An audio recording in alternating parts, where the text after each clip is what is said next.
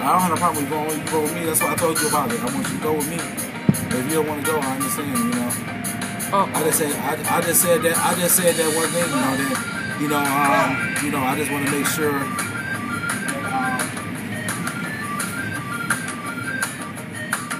Yeah, that's, I'm just saying I just don't want to do nothing to jeopardize her party and make her party make her feel uncomfortable because that'd be embarrassment to her. You know, she'd be like, "Damn, man, he said, damn." Boy. "Wow, wow."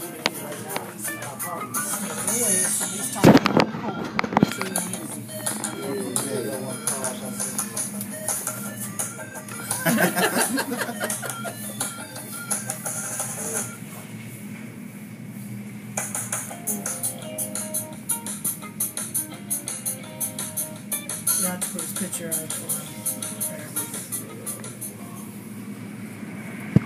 him.